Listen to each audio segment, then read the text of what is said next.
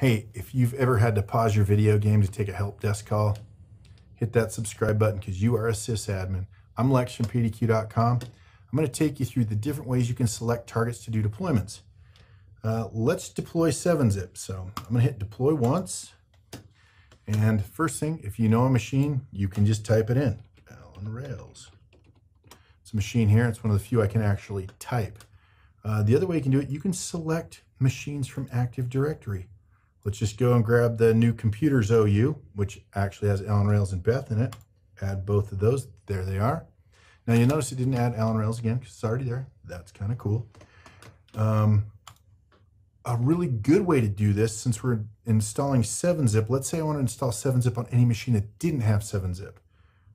You know, I don't know which ones those are, but the great thing is PDQ inventory does. So we're going to go grab all the machines from the collection 7-zip not installed. So if you go up here and type in 7-z, filters it, there it is, not installed.